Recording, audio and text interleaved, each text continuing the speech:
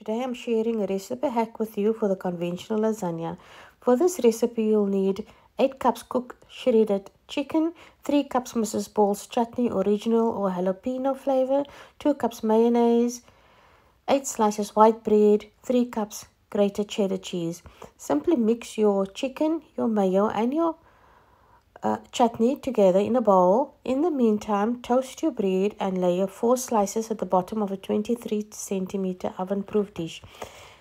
Spread half of the chicken chutney mayo over the bread and half of the grated cheddar cheese.